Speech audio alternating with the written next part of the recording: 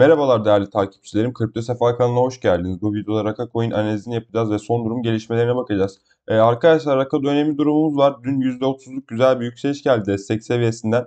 Ee, şu şekilde 15 seviyesine kadar çok çok güzel bir yükseliş geldi. Ee, bir fitil bıraktı. 15 dakikalık grafikte daha yakından bakmak gerekirse e, yaptığı yükselişte tekrardan bir satış baskısıyla karşılaştı ve 20 e, günlük hareketli ortalamaya kadar bir düşüş gelmişti. Fakat ondan sonra tekrardan bir tepki yükselişi yapıp e, düşen trendin üstüne tutundu. Düşen trendin üstüne tutunması bizim için çok önemli. E, coin'in üstündeki satış baskısı kalkması demek e, düşen trendin üstüne tutunması. E, düşen trend üstüne tutunduğu sürece bir sorun yok diyebilirim. Şu an fiyat tam olarak 132 seviyesinde e, ve tam olarak 50 günlük hareketli ortalamada tutunuyor diyebilirim 4 saatlik chartta. Denge işlem hacmimizi açmak gerekirse şu an bize denge işlem hacmimiz zaten yavaş yavaş hacmin arttığını söylüyor diyebilirim. Burada hacimde çok çok güzel bir artış gelmişti. Aynı fiyat gibi burada bir yataya bağladı. Sonra tekrardan kafasını kaldırdı e, destek seviyesine düştükten sonra. E, şu an fiyatta da zaten o 132 seviyesinin tutulması tekrardan kırdığı düşen trend altına atmaması çok önemli bir unsur diyebilirim. Bu düşen trendimiz 10 Şubat tarihinden geliyor. Uzun süredir gelen bir hemen hemen bir aydır gelen bir düşen trendimiz arkadaşlar 32 gündür gelen bir düşen trendimiz. Uzun süredir bu düşen trend üstüne fitil atamıyor diyebilirim. E, fitil atması bizim için çok önemli tabii ki. Fakat daha da önemlisi bunu kapatması. Şu anda da zaten e, kırıda düşen trendin üstüne 4 saat. Şu an bizim dikkat etmemiz gereken şey marketin genel olarak durumu ve Bitcoin genel olarak durumu diyebilirim arkadaşlar. Burada güzel bir hacim girmiş olmasına rağmen Bitcoin'deki satış baskısı kalkmadığı için marketteki genel olarak marketteki Marketteki genel durum hala pozitif olmadığı için tabii ki de Raka'da da çok çok büyük bir yükseliş gelmedi. Fakat satış baskısının kalkması dediğimiz gibi arkadaşlar çok önemli bir unsur diyebilirim. E, burada da Raka'da çok güzel bir yükseliş gelmişti. %150'lik çok çok güzel bir yükseliş gelmişti. Sonra tekrardan aynı şekilde Bitcoin yüzünden e, satış baskısıyla karşılaştı ve düşen trende oturdu ve uzun süredir e, gelen düşen trendde devam ediyor diyebiliriz önemli destek seviyesinden zaten e, şu an bir tepki aldı. Tam olarak 12 seviyesinden e, bir tepki aldı arkadaşlar ve düşen trend seviyesini kırdı. Raka'da diğer coinlere nazaran çok daha fazla bir satış baskı var. Çünkü markette adını duyurmuş ve çok büyük yükseliş yapmış bir coin. Herkes Raka uzun vadeli yatırım yaptığı için ve yukarılardan veya aşağılardan diplerden alım yaptığı için Raka'da satış baskısı çok uzun sürdü ve coin e, çok büyük bir düşüş yaşadı arkadaşlar. Yani bunun normal olduğundan zaten bahsediyorduk. Tüm markette çok çok büyük bir düşüş oldu ama Raka'daki satış baskısı hiçbir şekilde kalkamadı. Satış baskısı kalktığında zaten Raka'nın yaptığı yükselişleri biliyoruz. Burada %150'lik bir yükseliş yapmıştı. Herkes maldan çıktığında çok çok güzel bir yükseliş yapmıştı. Sonra tekrardan herkesi mala sokunca Bitcoin'in durumu yüzünden tekrardan düşüş trendine oturdu. Hacim bizim için çok önemli bir unsur arkadaşlar. Bakın zaten burada giren hacim ve burada giren hacim arasında çok büyük bir fark var. Ne kadar güzel bir yükseliş yapmış olsa da hacim yeterli değil. Şu an alıcı yeterli değil. Bu yüzden de zaten düşen trendin üstüne tutunmaya devam ediyor diyebiliriz. Markette şu an tüm altcoin'ler aynı durumda diyebiliriz hemen hemen zaten. %1'lik %2'lik yükselişler yapıyor. Sonra Bitcoin durumu yüzünden tekrardan terse düşüyor. E, RSI seviyemize bakmak gerekirse 4 saatlik chartta RSI'de tam olarak 73 seviyesine kadar bir yükseliş gelmiş. 73 seviyesi bizim için önemli bir direnç seviyesiymiş. Bir önceki yükselişte de tam olarak burada 24 seviyesine yükseldiğinde RSI 72 bölgesinden satış yemiş. E, burada tam olarak fiyat e, 23-24 seviyesindeyken tekrardan RSI yine 72 seviyesinden satış baskısıyla karşılaşmış. Bu yüzden RSI'deki 4 saatlik chartta 72 seviyesi bizim için önemli bir direnç seviyesi diyebilirim. E, günlük charta bakmak gerekirse 2 gündür e, yeşil yakıyor arkadaşlar. Bugün de zaten düşen trend üstüne kapatırsa yavaş yavaş hacim girmeye başlar ve yavaş yavaş e, kafasını kaldırmaya başlar diyebiliriz Raka. Günlük chartta RSI'de çok çok büyük bir düşüş geldi.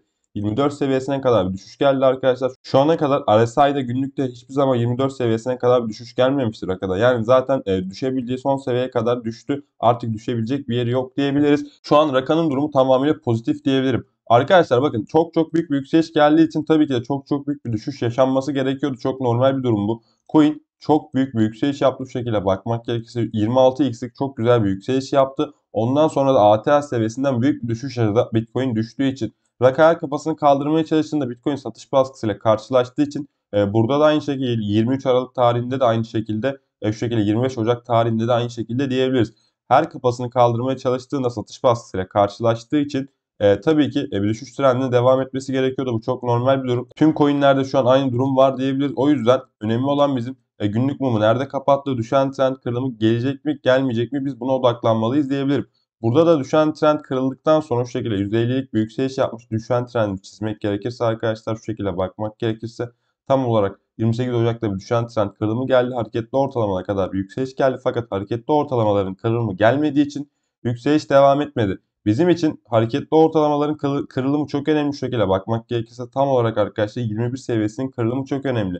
Zaten 21 seviyesinden sonra eski ATL seviyesi 26 seviyesi 26 seviyesi ilk direncimiz diyebilirim. 26 seviyesinden sonra bir önceki yaptığı yükselişte kıramadığı seviyeyi şu şekilde bakmak gerekirse 42 seviyesi. Bu seviyeler bizim için dikkat etmemiz gereken seviyeler. 42 seviyesinin kırılımı geldikten sonra da zaten coin'in önünde önemli bir direnç bölgesi kalmadığı için ilk yükseleceği yer ATH seviyesi diyebiliriz. Yani 12 seviyesi yani 121 seviyesi diyebiliriz arkadaşlar.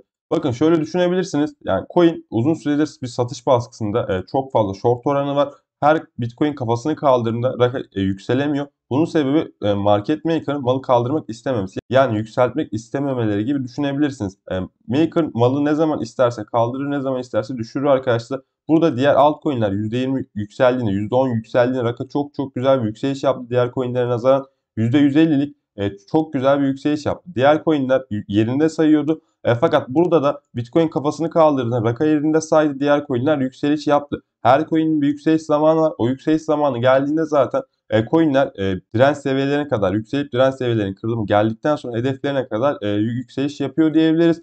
E, şu şekilde zaten boyunca bandımızı açmak gerekirse günlük chartta inanılmaz derece daraldı. Artık patlama yapması gerekiyor. 4 saatlikte de aynı şekilde bakmak gerekirse arkadaşlar 4 saatlikte zaten boyunca bandımızın ağzı tamamen kapandı. Uzun süredir bir patlama yapması gerekiyor fakat satış baskısı kalkmadığı için e, yaptığı patlamalar küçük oluyor. Direnç seviyelerine kadar, önemli direnç seviyelerine kadar bir patlamalar yapamıyor. Hacim yavaş yavaş artmaya başladınız. Zaten buradaki hacim barlarından anlıyoruz diyebilirim. Direnç kırılımının gelmesi bizim için de çok önemliydi. Yaptığı %30'luk pump da çok güzel, kısa sürede çok güzel bir pump yaşadı burada arkadaşlar.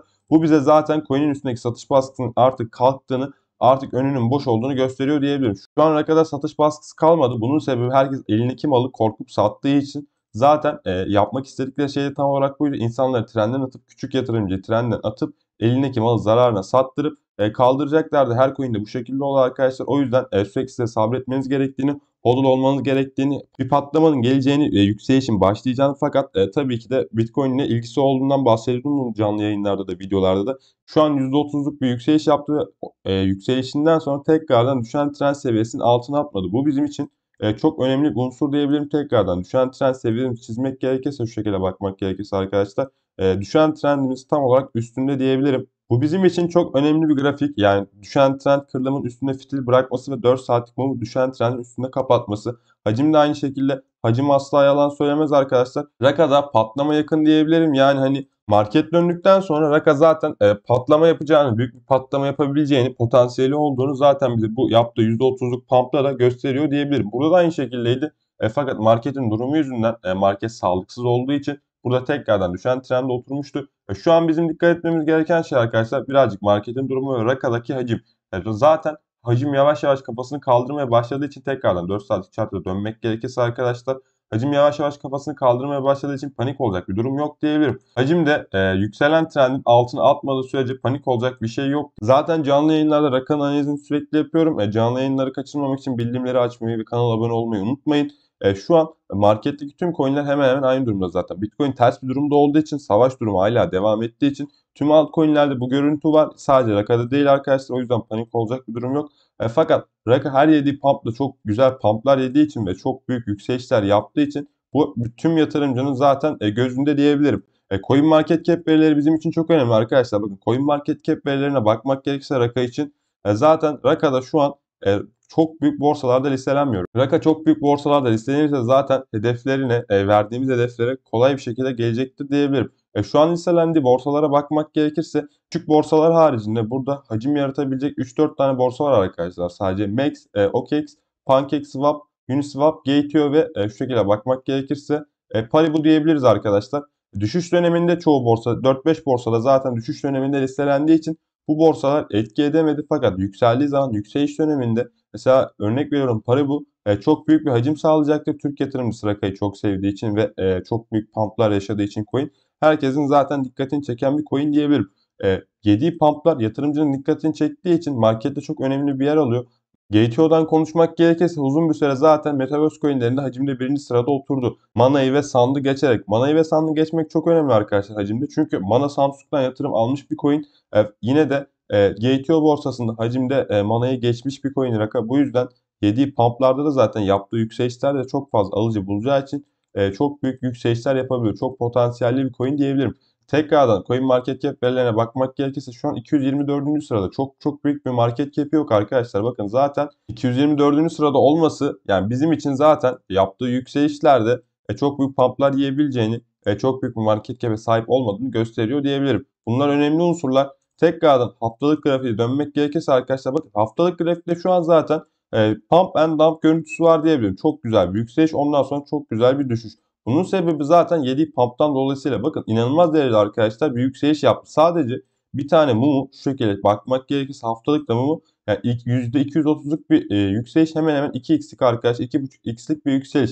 Böyle yükselen bir coin zaten bu şekilde düşmesi çok normal diyebilirim. Çünkü çok büyük bir hacim yemiş ve zaten hacim barlarında da çok çok büyük bir artış yok. Yaptığı en büyük yükselişteki hacim arkadaşlar e, hacim barı buradaki hacim barı e, bir öncekinden çok çok daha az olduğu için coin'de zaten short oranının e, fazla olacağı, düşüş döneminde short oranının fazla olacağı buradaki yeşil bardan anlıyoruz diyebilirim. Raka coin'de durum bu şekilde arkadaşlar.